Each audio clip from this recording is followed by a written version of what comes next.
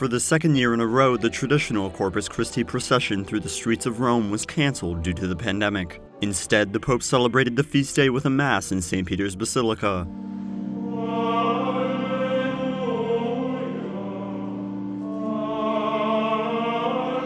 He recalled that the traditional procession is a reminder that Christians cannot live their faith only indoors.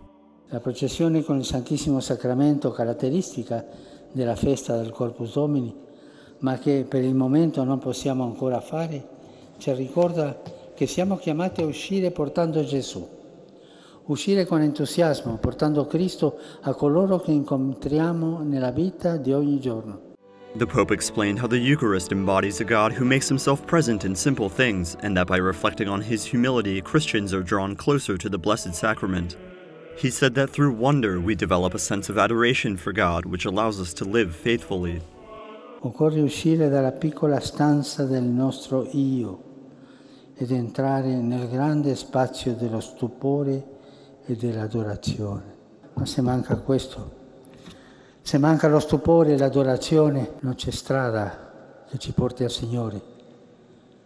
Neppure non ci sarà il sinodo. Niente.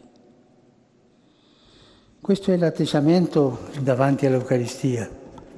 Di questo abbiamo bisogno. Adorazione. At the end of the celebration, everyone present prayed before the Blessed Sacrament for several minutes, including the Pope.